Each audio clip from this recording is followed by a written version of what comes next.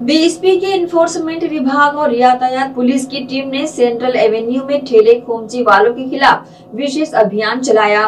पंथी चौक से लेकर बोरिया गेट तक अवैध रूप से लगे फल सब्ज़ी ठेले वालों को हटाया गया। कार्रवाई के दौरान ठेलों को जब्त करने के साथ नाश्ता सेंटरों को बंद कराकर हटाया गया। अभियान में डीएसपी ट्रैफ़िक सतीश ठाकुर का विशेष सहयोग रहा। इन्फोर्समेंट विभाग के अधिकारी ने बताया कि टाउनशिप की सड़कों पर अवैध रूप से खड़े ठेले खुमचे वालों के खिलाफ अभियान लगातार जारी रहेगा।